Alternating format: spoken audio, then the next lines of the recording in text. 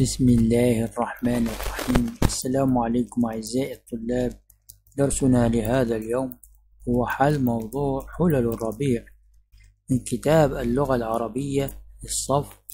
العاشر الفصل الدراسي الثاني نتمنى أن تستفيدوا من هذا الدرس وأن ينال إعجابكم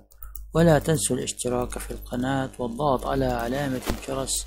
ليصلكم كل جديد